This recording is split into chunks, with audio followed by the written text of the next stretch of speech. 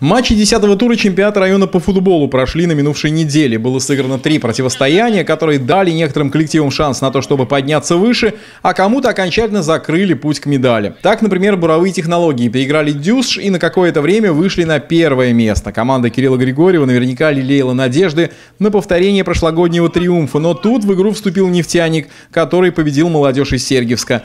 Тем самым сергиевцы окончательно лишились шансов даже на бронзу, а нефтяник не только убрал с дороги одного из прямых конкурентов, но и опередил буровиков в турнирной таблице. У обеих команд по 21 очку по итогам 10 матчей, но нефтяники выступили лучше в очных поединках. Однако путь к такому долгожданному чемпионству для нефтяника окончательно открыт еще не был. Дело в том, что Колос сыграл на два матча меньше и имел в активе 15 очков. При условии побед в этих двух играх дружина Вячеслава Лемкова набирала бы также 21 балл. Но вот по дополнительным показателям коллектив из Кармала Делякова и вовсе выглядел бы лучше, чем буровые технологии и нефтяник. Воплощать мечту в реальность реальность бордовые принялись в четверг. На прошлой неделе команда встречалась с СГТ. Студенты еще не набрали в турнире ни одного очка и выглядели явными аутсайдерами. Однако тот факт, что игроки Колоса могли стать сильнейшими в Сергиевском районе, давил на них нещадно. И матч сложился для потенциального лидера чрезвычайно сложно. Студенты первыми открыли счет, их соперник равновесие восстановил, но СГТ в середине первого тайма снова вышли вперед.